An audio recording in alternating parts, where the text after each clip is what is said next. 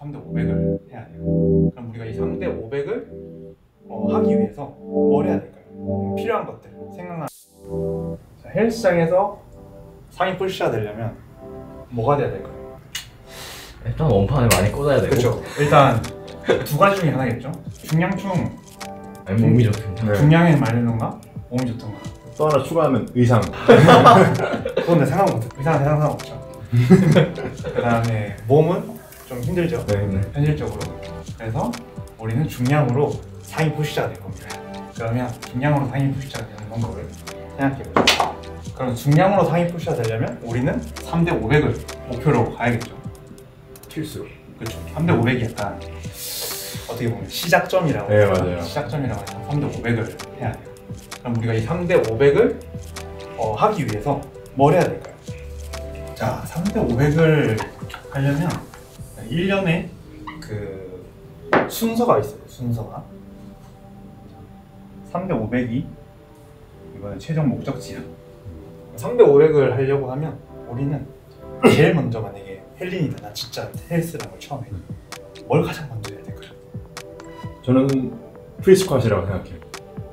그러니까 그렇죠. 맨몸은 맨몸 맨몸 스쿼트. 음. 그렇죠. 뭐 그래서 제가 생각했을 때는 어쨌든 자세 자세가 먼저 알아야 될거 아니에요. 음. 요거를 배워야겠죠.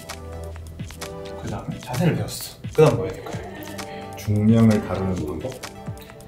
호흡. 자세를 배웠어. 자세를 배웠으면 일단 들 수 있는 근육을 만들어야 어 이제 실천 연결. 그쵸 연습을 해야겠죠. 음. 자세를 가지고 연습을 해야 돼. 연습을 좀 했어. 나 이제 어느 정도 좀 하는 것 같아. 그럼 뭐 할래? 이제 중량을 올리기 시작을. 그렇죠. 중량을 올려야 되는데 우리는 이제 보통 그 중량을 올리는 방법 중에 뭐 프로그램 같은 걸 쓰죠. 음.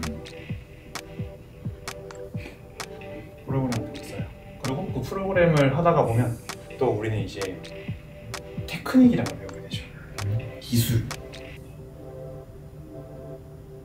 이런 일련의 과정들을 거쳐서 우리는 3대 500이 돼요. 근데 이제 우리가 인자강이라고 하는 사람들은 이 자세만 가르쳐주면 3대 500을 쳐요. 그리고 좀 운동에 재능이 있다. 이 두 개만 해도 3대 500을 쳐요. 네. 그 다음에 나는 조금 노력을 해야 된다. 그러면 이 세 개를 가지고 3대 500을 쳐요.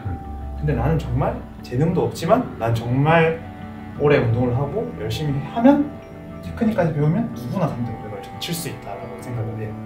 그래서 제가 봤을 때 여러분들은 지금 자세를 가지고 연습을 하는데도 불구하고 3대 500을 못 치면 제가 봤을 때는 이거 두 개를 제대로 안 하고 있지 않나 음. 라고 생각을 하는 거죠. 왜냐면 프로그램과 테크닉은 사실은 이 두 개를 조금 더 어, 도와주는 부가적인 역할이고 본질은 이거다. 근데 또 이제 사실 이 모든 본질에 이 바탕에 깔려야 되는 게 있죠. 뭐냐면 영양, 수면, 휴식.